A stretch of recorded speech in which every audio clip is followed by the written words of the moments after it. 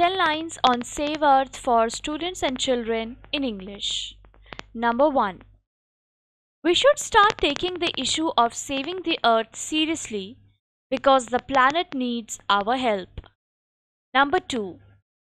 Over the centuries, humans have used the earth resources carelessly and to their advantage. Number 3.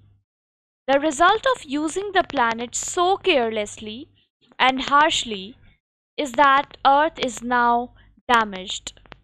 Number 4. If each person starts taking small steps towards saving the planet, the planet will be saved. Number 5. We need the earth to have a life and existence. Without it, we will cease to exist. Number 6. If we don't start trying to make efforts to save the earth now, the damage to the planet will keep increasing. Number 7.